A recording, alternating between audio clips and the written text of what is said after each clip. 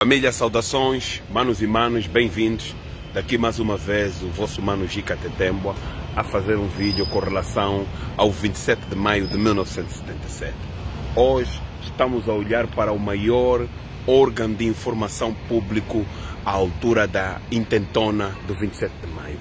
Antes do 27 de maio de 1977, o comandante Nito Alves já tivera várias vezes em abordagem apontando o comportamento antipatriótico, o comportamento contra cidadão do Jornal de Angola, os seus artigos, a sua linha editorial do Jornal de Angola de, da altura.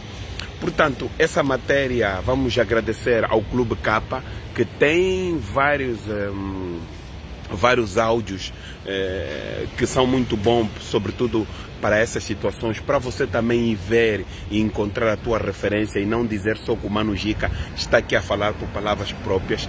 Até quando este vídeo entrar no YouTube, eu vou pôr embaixo para os que forem no YouTube, não os que tiverem no, no, eh, no TikTok ou, ou, no Facebook, mas no YouTube eu vou pôr o link eh, desse, desse discurso de, de, Nito, de Alves Batista, o comandante da primeira região, Nito Alves.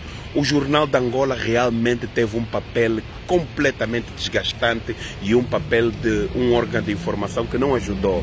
Eh, foi o Jornal de Angola que publicou eh, os artigos que mais amedrontaram milhares de angolanos, os artigos que mais imprisionaram os angolanos e aquela linha de editorial do, do, do Jornal de Angola não ajudou. Mas hoje nós não estamos aqui para criticar as pessoas que estavam a fazer aquilo, mas estamos aqui com base nas nossas análises a olhar para aquele conteúdo da linha editorial do Jornal de Angola e ao momento que estávamos a viver, o que é que nós e os outros vamos aprender, sobretudo os que estão na informação e que estão na comunicação social.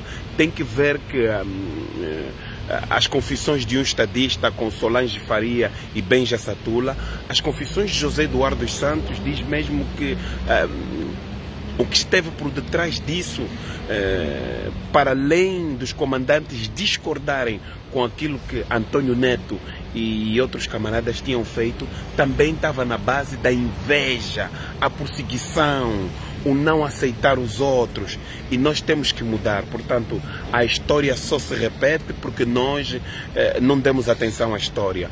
Eh, sejamos nós, os homens angolanos e as angolanas e as outras pessoas do mundo, a termos capacidade de olhar, analisar a história e narrar a história conforme ela foi e os seus acontecimentos para então podermos trazer o desenvolvimento e a contribuição dos mesmos. Espero ser contributivo aqui nessas leituras do fraccionismo, mas a mensagem de hoje é um, a forma imparcial, a forma negativa, a forma imatura, a forma agressiva e destruidora com que o Jornal de Angola se posicionou no 27 de maio de 1977.